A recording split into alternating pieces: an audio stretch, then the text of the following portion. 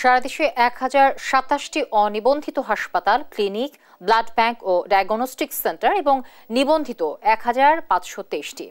শিশু আইনের মৃত্যুর ঘটনায় হাইকোর্টের নির্দেশনা অনুযায়ী স্বাস্থ্য অধিদপ্তর এ সংক্রান্ত প্রতিবেদন হাইকোর্টে দাখিল করেছে।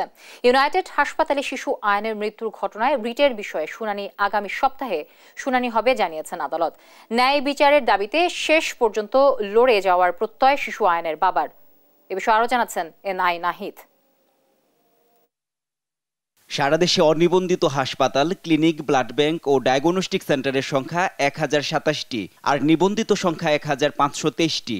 গেল সাত জানুয়ারি রাজধানীর বাড্ডার সাঁতারকুলে ইউনাইটেড মেডিকেল কলেজ হাসপাতালে খতনার পর শিশু আয়ানের মৃত্যুর ঘটনায় হাইকোর্টের নির্দেশনা অনুযায়ী রোববার স্বাস্থ্য অধিদপ্তর এ সংক্রান্ত প্রতিবেদন হাইকোর্টে দাখিল করে। অনিবন্ধিত হাসপাতাল তাদের কার্যক্রম চালাচ্ছে।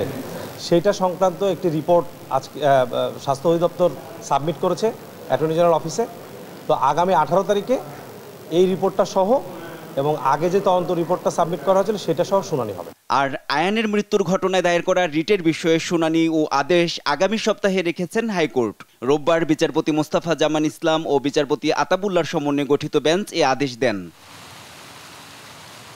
নিম্ন আদালতে আয়ান হত্যা মামলার আসামিদের জামিন বাতিল চেয়ে আবেদন করলেও তা খারিজ করা হয়েছে বলে জানান আয়ানের বাবা। জামিন বাতিল চেয়ে আবেদন করেছিলাম কিন্তু তারা এটা খারিজ করে দিয়েছে তাদের জামিন অব্যাহত রাখছে।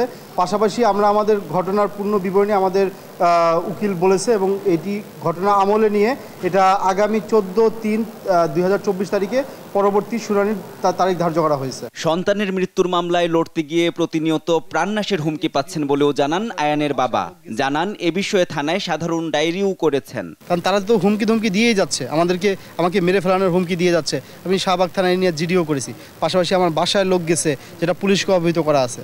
তো যদি কোনো কারণে আমার মৃত্যু হয় এই জন্য দায়ী থাকবে ইউনাইটেড গ্রুপ ইউনাইটেড গ্রুপের চেয়ারম্যান এ সময় আয়ানের বাবা প্রধানমন্ত্রীর কাছে সুষ্ঠু বিচারের দাবিও জানান।